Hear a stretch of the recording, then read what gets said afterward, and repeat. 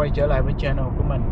À, trong clip này á mình sẽ phân tích về xe điện và mình sẽ đưa ra một vài cái lý do để mình khẳng định là xe điện nó sẽ không bao giờ thay thế được xe chạy xăng. Dù cho dù vài chục năm sau khi mà xăng nó hết rồi thì xe điện nó không thể nào đứng một mình và nó không thể nào thay thế toàn bộ xe xăng. Nó sẽ chạy với một cái loại xe nào khác. Thì đầu tiên á à, mình muốn phân tích về những cái điều mà người ta luôn nói về cái xe điện này nọ hơn nói tốt về xe điện và nói xấu về xe xăng. Thì cái đó là một trong những cái vấn đề mà mình đã đề cập tới cái chuyện mà là sự quảng cáo và sự dối trá của cái nhà những cái nhà sản xuất và cái sự quảng cáo của họ. Thì bạn có thể check lại những cái những cái clip mình làm đó để các bạn hiểu rõ hơn về cái thời đại hôm nay, cái thời đại truyền thông và cái thời đại marketing, nó rất là ma mảnh, nó lừa những cái người tiêu dùng. Và khi mà bạn không đủ thông thái, bạn sẽ rất là dễ bị lừa cái đó, bởi vì những cái điều nó nói ra, nó hợp lý, nó đúng nhưng nó không có đủ. Nó nói xe điện bảo vệ môi trường là bởi vì cái cái phần điện á, cái motor điện khi mà nó quay, nó không có tạo ra cái khí carbon.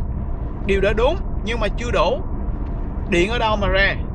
Thế thì hiện nay trên thế giới nó vẫn sản xuất điện chủ yếu ở nước Mỹ nha. À, thì dùng chủ yếu là từ điện nguyên tử hoặc là điện than. Thì điện nguyên tử á, nó vẫn phải dùng dùng là uranium những cái thanh uranium để nó giải phóng ra nhiệt. Cái phần nổi của nuclear power á, là các bạn chỉ thấy là à, nó dùng nó dùng cái phản ứng nhiệt hạch gì đó để nó tạo ra nhiệt thôi. Nhưng mà sau đó bạn phải nhớ là uranium bản thân nó không có năng lượng, nó phải tinh chế một cái quá trình để nó tạo ra uranium, ok? Rồi sau khi mà nó phản ứng xong á, uranium nó hết hạn rồi nó hết cái năng lượng á, thì nó vẫn phải, nó vẫn còn cái độ phóng xạ và nó rất là nguy hiểm.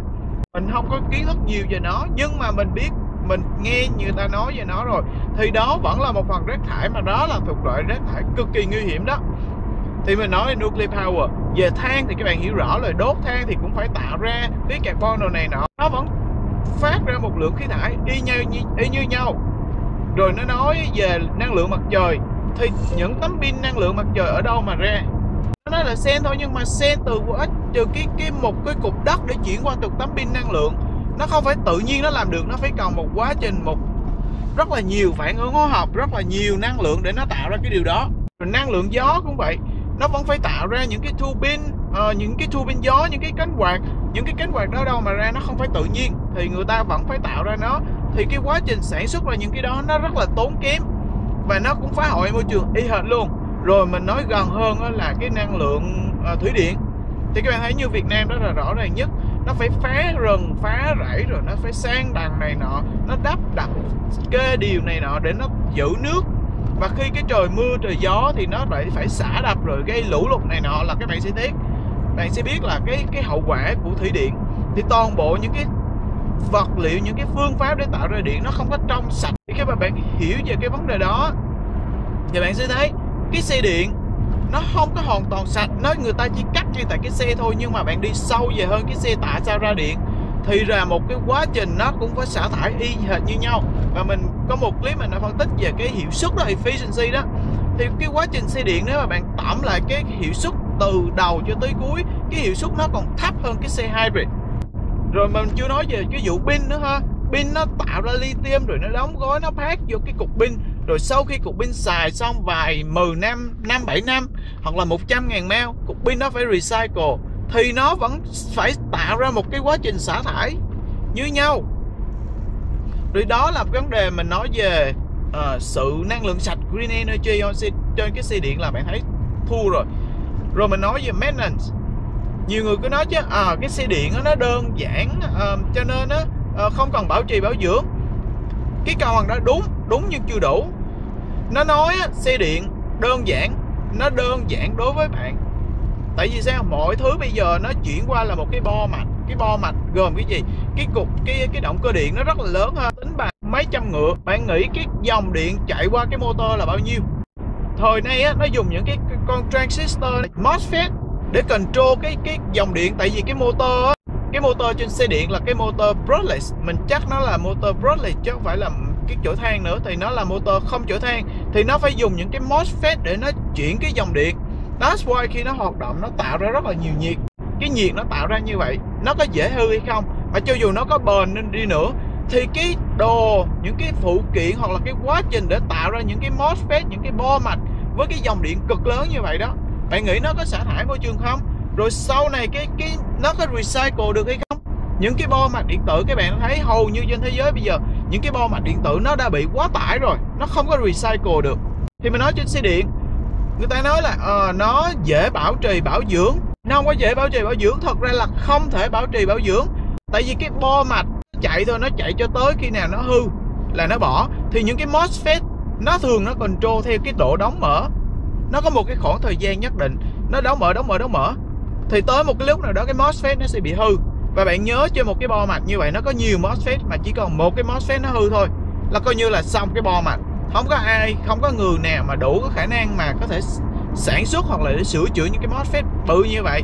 Và mình chắc luôn bạn nào có coi những cái clip về cái thằng Tesla, nó nó nó tạo ra cái bo của nó đó. Everything nó nhét ở trong cái motor và nó nhét rất là kỹ. Thì bạn nghĩ là những người bình thường, những cái người mechanic hoặc của bạn là chemical hoặc mechanical hoặc electrical, bạn nghĩ bạn có sửa được những cái bo đó không? Tất nhiên là không. Thì khi mà cái motor nó bị lỗi về mà hoàn điện là bạn thấy là cái xe là đi vất rồi. Rồi, mình nói về cái phần mechanical. Mình nhấn mạnh một lần nữa là cái xe điện nó có cái gearbox, nghĩa là nó có những cái bánh rang. Tại vì cái động cơ điện á, nó không thể nào tạo ra một cái mô men xoắn cực cao như vậy. Tất cả các loại động cơ điện luôn. Cho nên á, nó sẽ có một cái phần bánh răng giả sử mình sẽ chèn cái hình ở đây bạn. Nó tăng cái thốt lên, nó giảm cái tốc độ quay nhưng mà nó tăng cái mô men xoắn lên thì cái đó, cái phần output nó mới connect vô được cái wheel. Thì đó là lý do tại sao cái xe điện nó có nhiều mô men xoắn như vậy. Thì, everything bất kỳ lúc nào mà nó có gearbox hoặc là nó có bánh răng này nọ nó phải có nhớt nó phải có coolant. Thì cái coolant đó nó phải cần được thay thế. Giả sử như bạn đi vô bạn mua xe hơi bây giờ cũng vậy. Mấy cái thằng dealer nó cứ nói là ờ mày không có cần phải thay những cái dầu uh, transmission fluid nữa. Tại vì nó là lifetime luôn. Nó kêu lifetime tức là sao? Là trọn đời của cái xe mày không có cần thay. Nhưng mà nó có nói cho bạn là trọn đời của cái xe là bao lâu không? 5 năm nó cũng gọi là trọn đời, tại cái xe bạn hư 5 năm nó là trọn đời. Cái xe bạn hư 2 năm nó cũng gọi là trọn đời của cái xe. Ok? Cho nên cái phần đó là cái phần 7 của cái thằng dealer để nó làm cho bạn thấy vui thôi. Nhưng mà đứng trên phương diện kỹ sư cơ khí như mình, tất cả các gearbox, tất cả các coolant, bạn phải thay. Tại vì sau 5 năm, bạn không thay nó sẽ bị lão hóa. Cái phần đó nó gọi là degrade và nó sẽ không có còn vụ bôi trơn nữa. Ví dụ đó là lý do tại sao mình mới thay cái xe mình. 50 ngàn mail. Mới có 2 năm thôi mình đã thay cái transmission fluid. Hoặc là bạn nhớ nhiều người nói à tại trong cái transmission fluid nó có những cái solenoid đó rồi mình phải thay? Vậy là bạn bạn có biết là tại sao những cái xe truck mấy cái cầu sau đó nó có cái ù dầu đó người ta vẫn phải thay? Sau 100 ngàn meo hoặc là 10 năm hay 7 năm gì đó tại mình không có xe đó mình biết. Nhưng mà người ta sẽ phải mở cái đầu ra người ta drain cái cái oil nó đi. Người ta put cái new oil vô. Hoặc là bạn nào có xài những cái um, cái cái xe, cái cái cái lon mower là cái máy cắt cỏ đó, cái xe cái xe lái cỏ đó. Đằng sau nó vẫn có cái transmission. Mình vẫn phải thay cái fluid đó mỗi 2 năm hoặc là 3 năm. Tại vì cái dầu nó sẽ bị lão hóa. Đó, thì mình nói sơ cho bạn, thì cái maintenance trên cái xe điện nó phải có. Nhưng mà tại vì nó nói là nó lifetime, cho nên nó không có thiết kế để bạn service cái phần đó. Thì là bạn thấy động cơ điện, cái xe điện của bạn là nó nó đã fit cái thời gian rồi là chạy tới tầng đó là nó sẽ bị đổ bệnh và nó sẽ bị hư. Mình không có cách nào improve được. Rồi rồi người ta nói uh, nhiều người nói ờ uh, chứ cái xe động cơ đốt châm này nó rất là phức tạp. Đúng nó phức tạp nó nhiều linh kiện nhưng mà toàn bộ các linh kiện của nó không có hư như bạn thấy xe mình nè. Mình chỉ tới đúng ngày đúng giờ 5 ngàn mao mình chỉ thay nhớt. Ok đúng ngày đúng giờ 5 ngàn mao mình thay nhớt. Xe mình này xe đi xe sang này đâu có hư vấn đề gì đâu. Nếu mà cái xe của bạn good mua từ cái cái nhà sản xuất good thì cái xe của bạn nó rất là ít nó rất là yêu nó yêu cầu rất là ít maintenance. Mỗi 5 ngàn mao 7 ngàn mao bạn thay nhớt nó xít còn lại đổ nhớt chạy ơi quên đổ, đổ xăng chạy thôi. Nó không có ảnh hưởng cái gì hết. Rồi 50 ngàn mao như mình nói mình phải flush cái coolant. Cái coolant nó phải có xe nào nó cũng phải có cái coolant hết. Xe điện nó cũng có cái coolant để nó giải nhiệt cho một cái ổ pin của nó chứ bạn nghĩ cái cái cục pin của nó khi nó sạc nó nó nhiệt, nó đi đâu? Nó phải có cái coolant đó. Rồi, khi mà cái động cơ nó chạy, nó có cái coolant, nó có cái oil trong cái gearbox của nó bạn vẫn phải thay. Những cái nhà sản xuất nó không nói cho bạn cái điều đó và bạn tưởng là nó easy. No no, nó không có easy. Mình làm về maintenance, mình biết những cái motor điện, những cái gearbox, nó đòi hỏi thay dầu, thay nhớt, rồi bấm thêm cái áp những cái mỡ đồ là hàng mỗi 6 tháng là mình phải làm cho nên mình rất là rành về cái động cơ điện. Các bạn đừng có nghĩ động cơ điện là bạn không làm gì hết đó là sai lầm. Đó thì mình nhấn mạnh như vậy. Trên xe sang bạn cũng phải đổ nước cho cái windshield bạn vẫn phải uh, thay dầu bạn vẫn phải thay thay coolant rồi bạn vẫn phải thay cái họ dầu hộp số. Thì cái xe điện bạn vẫn phải thay cái coolant cho cái cục pin chứ không lẽ cục pin bạn nghĩ nó chạy hoài. Bạn vẫn phải thay cái cái oil cho cái transmission mặc dù nó không cho bạn thay. Rồi sao nữa? Những cái xe này như mình kể, cái chuyện và cái xe cũ của mình đó, cái động cơ nó rất là good, nó không có hư. Nhưng mà gì? Cái suspension của nó dở, cái lò xo của nó nó bị sệ thì cái xe điện nó sẽ tương tự, mà bạn nhớ cái xe điện nó nặng hơn cái xe xăng. That's why cái hệ thống support của nó sẽ bị mòn, sẽ bị lão hóa, nhanh hơn là xe xăng. Đó, thì những cái điều đó mình chia sẻ cho các bạn để các bạn keep in mind là những cái gì nó nói về xe điện, các bạn sẽ suy nghĩ.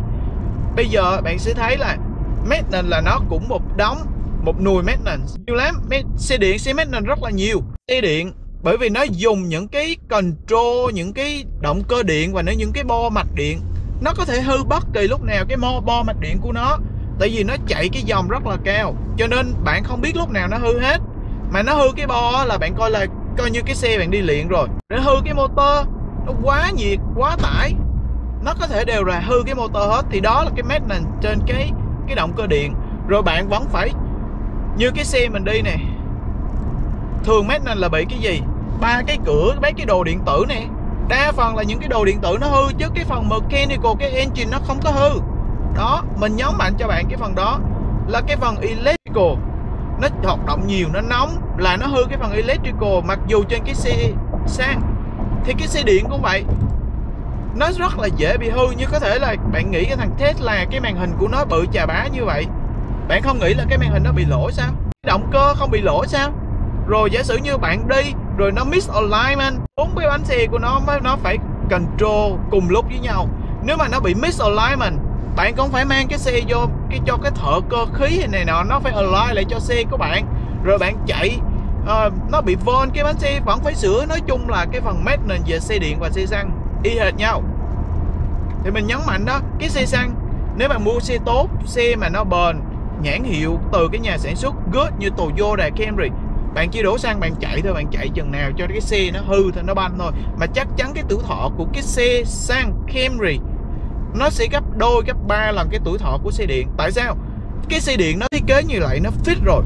Cái động cơ điện, nó dùng cái brushless motor thì cái Project motor nó đã tính bao nhiêu ngàn giờ trong đó rồi. Nó dùng cái pin lithium ion nó cũng tính bao nhiêu lần sạc trong đó rồi.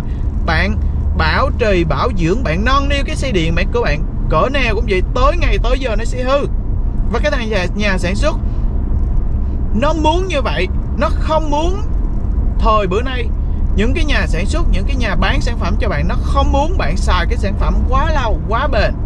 Đó là cái yếu tố tại sao cái bọn sản xuất cái nhà sản xuất bây giờ nó chơi cái trò đó. Ok? Nó muốn control, nó muốn cái thứ gì đó hư nhanh hơn để chi để nó bán đồ. Cái phần đó là mình phân phân tích về cái phía khía cạnh kỹ sư thôi. Ok? Còn mình chưa có phân tích về cái vụ điện sạc tình hình điện rồi, tình hình thiếu điện. Ngay cả ở Mỹ cũng cũng có thể thiếu điện nếu mà người ta xài nhiều hơn là 50 phần trăm. Đó, thì mình nói ở Việt Nam nó còn tệ hơn nữa. Việt Nam mà xài đổ xe điện chừng 10 phần trăm hoặc là 20 phần trăm xe sang bây giờ mà nó đổi qua xe điện á, là cái hệ thống điện của Việt Nam nó sập chắc luôn. Thì mình sẽ mình sẽ nghĩ mình lên làm một cái clip khác nói về cái phần tình hình điện đài ở Việt Nam để các bạn có thể nhận thức được. Và những bạn nào ở bên Mỹ, các bạn có thể hiểu được là xe điện nó như thế nào. Ok? Các bạn đừng có nghe những cái nhà sản xuất. Mình làm việc rất là nhiều những cái nhà sản xuất, nó đưa những cái procedure, nó đưa những cái, nó gọi là brochure đó tức là những cái cái cái quảng cáo về cái sản phẩm của nó. Đọc rất là mùi rất là đã. Nhưng mà khi bạn mua về rồi bạn lắp đặt rồi bạn chạy rồi á nó đổ ra một đống bệnh. Ok? Thì uh, clip này mình chia sẻ những cái gì mình biết được. Phân tích cho các bạn thấy là xe xăng xe điện về cái vấn đề maintenance tức là về vấn đề bảo dưỡng và sửa chữa. Ok? Thì hy vọng các bạn có thể hiểu được một phần nào đó lý do tại sao tới bây giờ mình vẫn chưa thuyết phục là xe điện nó good. Hẹn gặp lại các bạn ở những clip sau. Bye bye.